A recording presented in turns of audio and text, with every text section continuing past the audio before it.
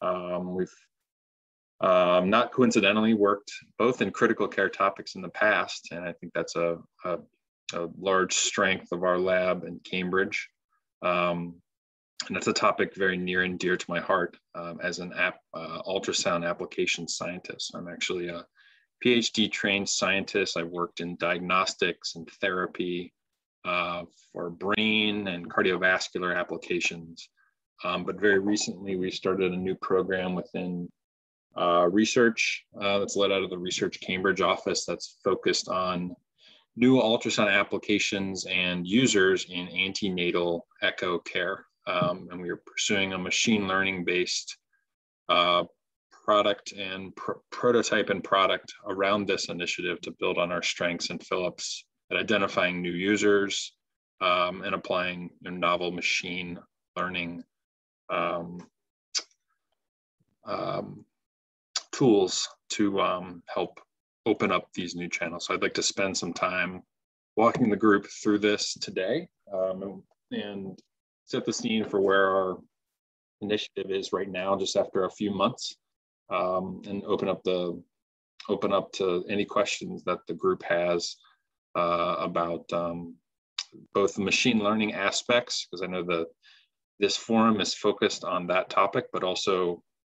the general topic of the value proposition in this area. So I'll start with some ultrasound applications uh, background to build on the um, introduction that Manon gave to uh, our department.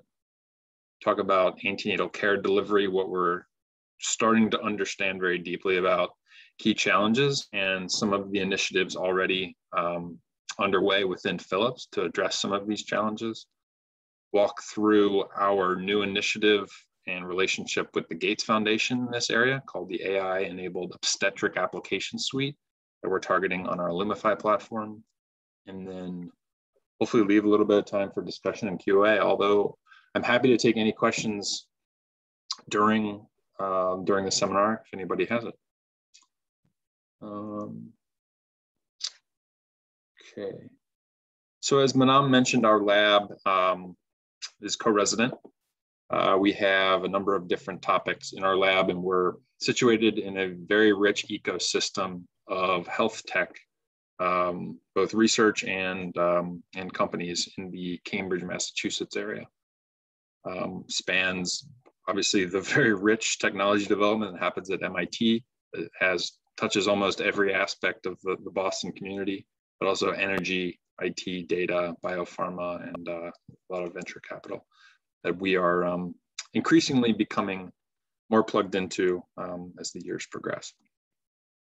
So our uh, our department within Philips Research in Cambridge actually touches three different topics.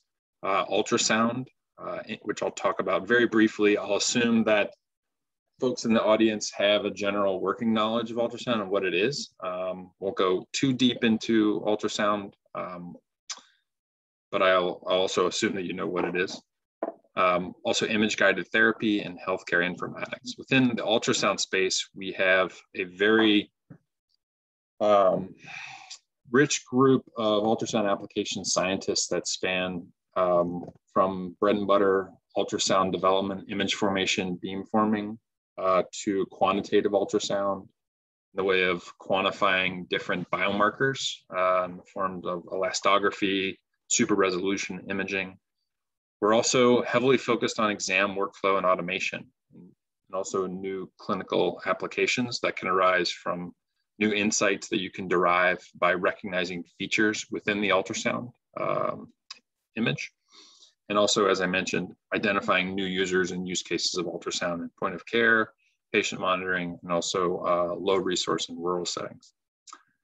Um, so we'll dive into that a little bit more deeply here in this talk. So our um, research group has done a lot of work in the past, um, both productizing and building novel prototypes to expand the use cases of ultrasound First, um, one example being the Philips Heart Model. It's a product that is on our premium platforms that allows uh, ultrasound transducers that generate a three-dimensional image to automatically orient themselves in the, the space of the heart and identify and quantify uh, different chamber volumes and the dynamics of the heart by way of a model-based machine learning approach.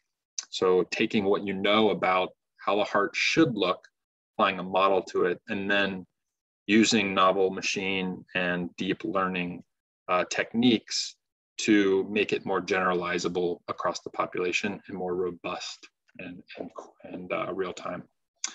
Um, we focus in our department very strongly on our handheld Lumify platform. Uh, I won't go too deeply into Lumify, but Lumify, for those who don't know, is a handheld pocket ultrasound system that Philips introduced to the market a number of years ago. Uh, it runs um, on both Android and iOS devices uh, across a fleet of devices in both of the on both of those platforms. Um, and you um, can plug essentially a, a, number of different transducers that address different uh, clinical applications across the body into your own pocket device. Uh, and it can run for hours and scan um, with very high image quality that um, in many cases compares uh, to the premium large cart-based systems. So we think our department and the ultrasound application scientists in our group think that this is a very um, key enabling technology that's happening across the space that Philips is a very strong player in due to our uh, high market leading image quality in this, um, in this area. We've also worked on things um, to enable new users to ultrasound. Uh, one example is uh, trying to expand the use of transesophageal echo.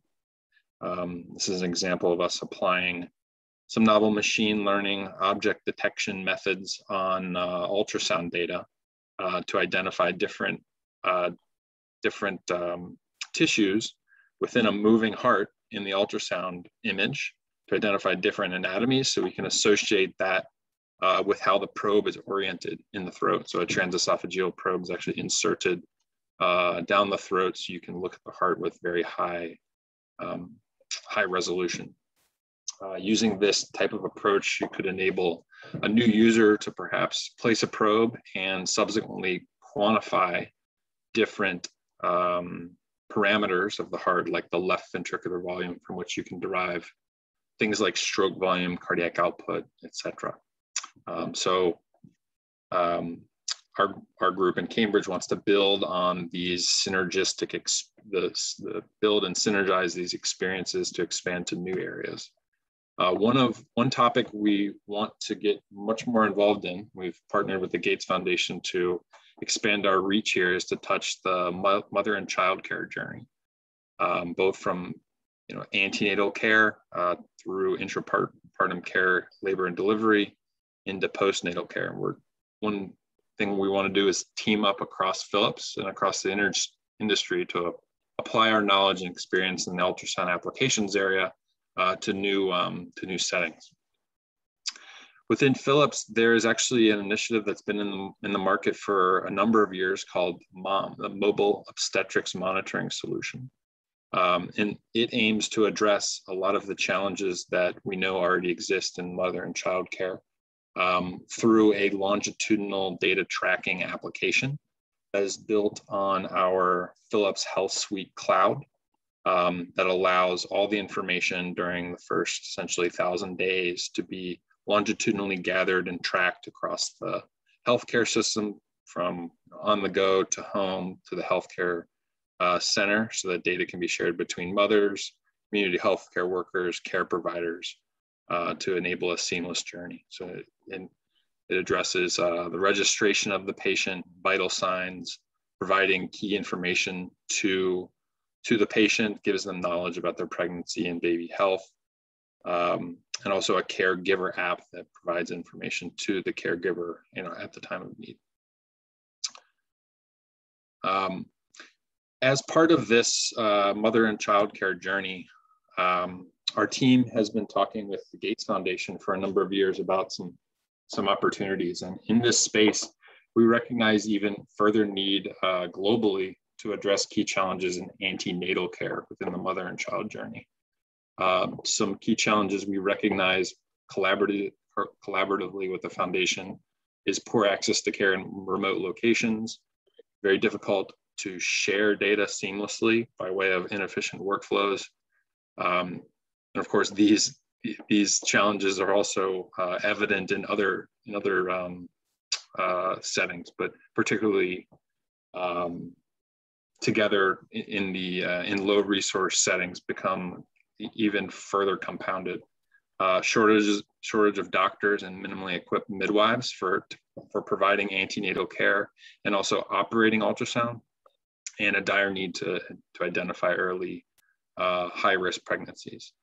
Um, so we've teamed up with the foundation to really help achieve and understand the care continuum and how you can develop technology to achieve to to to um, develop um, towards a mission of allowing one ultrasound scan before 24 weeks gestation for every pregnant woman globally. Um, what we've done is built on our experience within within Philips to um, to build on the what the mobile obstetrics monitoring team has done uh, to take our our ecosystem of solutions across Philips, uh, which which um, include both uh, teleradiology, um, telecommunication sharing within our REACTS application within the Lumify environment that allows a care provider uh, echo operator to connect with an echo professional or their colleagues uh, when they when when they need it most to interpret an image or make a clinical diagnosis. Um, the mom patient application, caregiver app, um, the web portal, um, and our Health Suite digital platform. We want to extend the reach of ultrasound by way of image acquisition uh, assistance and image interpretation assistance built directly on our ultrasound platform that allow automation of key antenatal screening parameters um, by way of novel machine and deep learning techniques implemented locally on the handheld device. So we are targeting um, a platform where a plurality of these clinical functionalities is actually achieved. We're targeting six of them.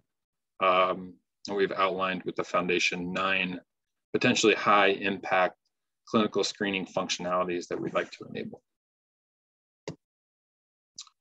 Um, we are, we started this program a couple months ago, really. Um, we're looking at it as two phases. The first phase is going to develop a prototype that we're actively pursuing right now and involve data collection and annotation of data. As we all know, machine learning annotation of that data is paramount um, you need it needs to be curated properly and you need to understand the environment in which the data was acquired in order to glean um, insights optimally we're going to develop an algorithm for at least six of the features develop a regulatory strategy to go to market sustainably um, in in a plurality of geographies and we'll also develop a standalone research prototype uh, that's been tested with users in target geographies um, within the, the, scope of a couple of years. After this, we're going to go to market um, with this um, uh, with this prototype um, by way of the strategy um, we've defined in phase one. To do this, we are, as I mentioned, te teaming up across Philips. Uh, we have, a, as Manan mentioned, a number of different research sites across the globe. Um, Namely, in this program, it's driven by three, separately, three of our research sites. Um, it's driven from Philips Research North America with our experience in ultrasound AI, Lumify software, and, and understanding uh, the value proposition to customers and the business. Uh, a lot of experience within our Philips Research Kenya lab in Nairobi around mother and child care and low resource care delivery um, and also our Philips Research Bangalore team uh, with deep experience in obstetric ultrasound, AI, and software. So this is really a global program. Um, very excited to be able to make um, hopefully large strides here to identify the problem across the care continuum and determine where technology and machine learning, new machine learning tools can actually play a part because technology doesn't solve everything. You have to, you have to understand the full societal problem and how um, new tools like data-driven algorithms play, play a role there. Um, we're taking this project very seriously. We have, a, we have a global team that spans uh, myriad functionalities across the whole product development um, process from data scientists, data engineers, clinical scientists, uh, medical doctors, regulatory, quality, clinical affairs. Um, everyone's engaged in this program so we can tackle this problem just not just from a technology standpoint, but across the whole uh, continuum of product development. Uh, we're working hand in hand with the Gates Foundation to ensure that our global access mission uh, is fulfilled. We don't uh, stray away from that.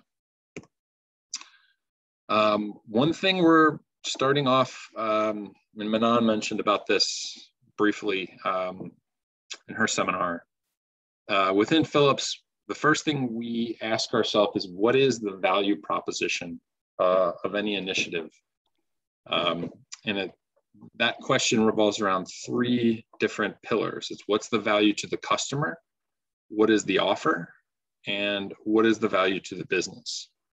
Um, so, for example, around the customer, we, before we start developing technology, we need to understand where potentially, if we do develop it, where will we get our business from? Because it has to it has to pay for itself. It has to be sustainable, or else we'll introduce a number of devices to the market and they'll just sit there, um, and, and, nobody will benefit from their use. Uh, what problem are we actually solving? Um, uh, what what is in the market right now? What's the current uh, what's the current practice? What kind of products or services, if any, do they use? Who are who is actually going to pay for this? Who is going to be the buyer that says yes? Um, that's a really important question to answer before you start to develop technology or start to uh, theorize which machine learning networks might build this new tool for this end user. And how big is the opportunity? Um, the offer, what exactly are you asking the, the potential customer to do and what benefit does it provide to them um, when you really really boil down to the details and i'll talk about that a little bit in upcoming slides um, this matters a lot um, why why should that person believe that this new tool will actually make a difference in their in their lives and or their professions uh, and also from the business does this fit philips brand strategy and positioning we have to we have to Philips can do a lot of different things. Um, we have a lot in our backlog to use some of our own nomenclature. Um, wh which things should we actually do and how does it fit our, our brand strategy? Um, and some other things, risks are something we, we talk about a lot these days, and especially um, you know, with the advent of, of deployable real-time you know, machine and deep learning tools, there's a lot of, they're, they're data heavy. Uh, and we need to be extremely mindful of data privacy uh, in a global world right now, which brings risks both to Philips, but also to the patient and healthcare systems. And that's something we take seriously from the beginning. Um, this value proposition process uh, is a continuous process. We, we engage with customers across the entire care continuum. It starts with potential end users, in the case of our initiative, it could be a community health worker, medical officer, um, a midwife, uh, a sonographer, an OBGYN, Ministry of Health official, a governmental official, World Health Organization official. Um, uh, anybody who touches the, you know, the payment, the buying process, the, the potential device, the healthcare system in any way is part of this value proposition process. You need to understand their perspective and what decision they would be making with what evidence uh, in order to really understand the problem from a holistic, uh, holistically. Uh, so this is something we'll be doing throughout the entire program, but focus, focusing on very strongly from the beginning in order to set our initial user needs and business needs from which we can define what sort of machine learning based tools we should be aiming for. Um, we've started we've started our value proposition process and identified um, some key questions and challenges in the obstetric ultrasound domain in in low resource settings particularly um, we understand it, within the within the assessment some of the big questions are what what is the what is the lie of the fetus and what's its presentation? How many do you have? Is it a multiple gestation? Uh, where is the placenta generally speaking? Uh, this is something without the um, without a an experienced echo um, operator uh, on hand, these are some of the, the quick questions folks need to know in order to, to risk stratify um, during the course of a pregnancy. What is generally the, the volume of the amniotic fluid? Uh, some additional challenges, the scan, the actual scan is inherently difficult to perform, even if you are a trained sonographer. Uh, it's operator dependent modality ultrasound is compared to CT or MRI. Um, essentially ultrasound is different in two major ways.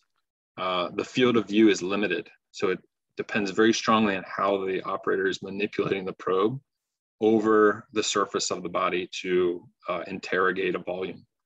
Um, and then also the contrast to noise ratio uh, is, is not, not very high with, ultrasound. The resolution is really good, but you've got a lot of um, more or less contrast, contrast noise that you're having to deal with. Um, so it makes for a lot of operator dependence. Uh, there's a, obviously a complex and dynamic fetal organ anatomy with this with respect to the placenta and the uterus. So you, there's a time dependence to this that's very different from say cardiac or brain imaging. Um, there are ultrasound artifacts. For those who are schooled in ultrasound understand this very well. But the propagation of sound through the body introduces different, uh, essentially, um, call them errors or um, well, they're artifacts within the image that can actually be used uh, beneficially if you can recognize them. So we need to be able to recognize these uh, and also getting energy into the body. Um, ultrasound is more or less a, a benign um, imaging modality, it uses non-ionizing radiation. It's been shown to be very safe for both mother and child.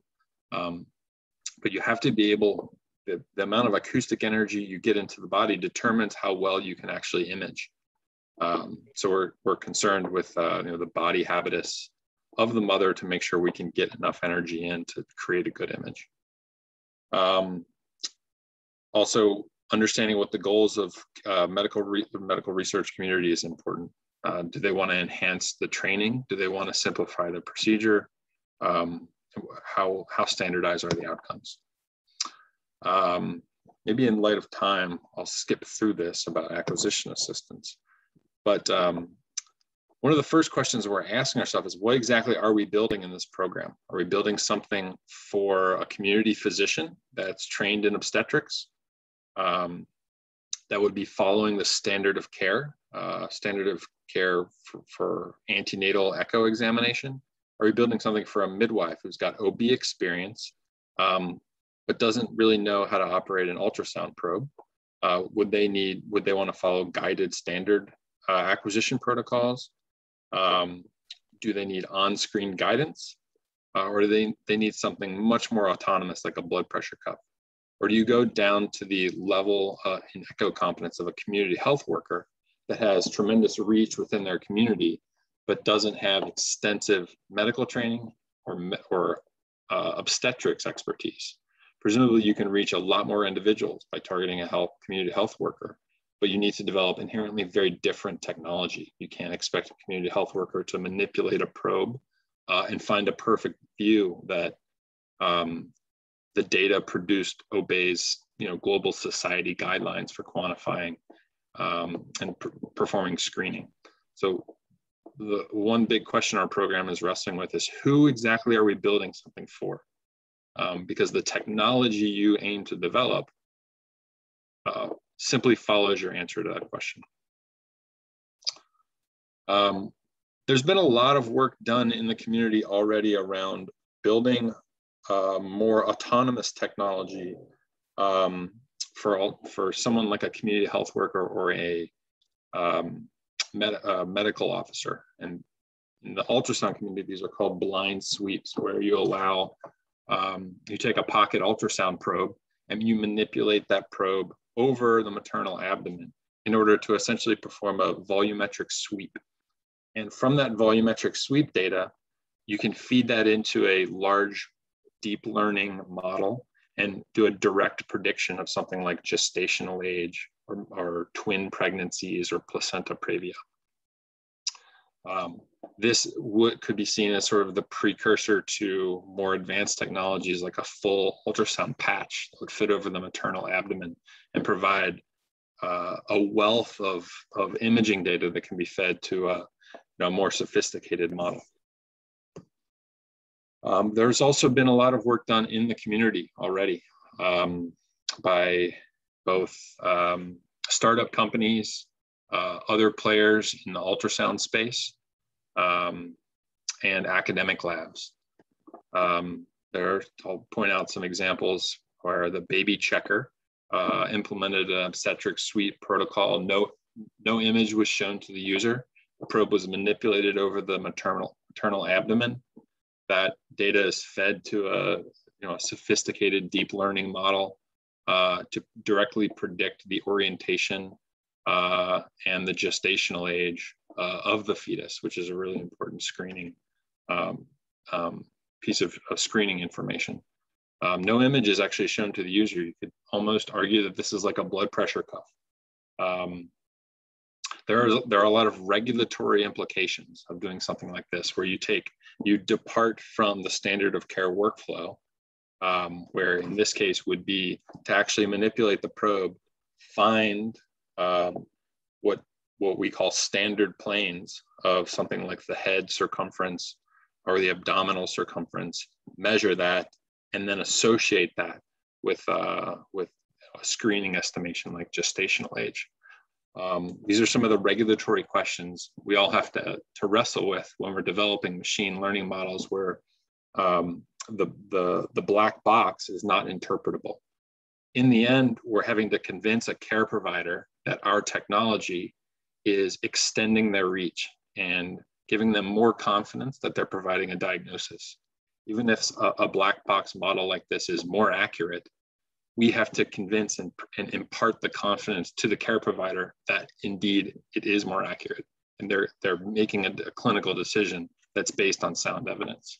That burden is on us as technology developers to do that. It's not on the care provider. Um, very quickly, just um, a sneak peek into what we're doing. Um, uh, some of those parameters we showed um, earlier on in the presentation uh, around you know, multiple gestation, fetal presentation, and amniotic fluid. Three different algorithms we're developing. Um, some of the confounding factors we, will end up running into, as I mentioned, are fetal movement.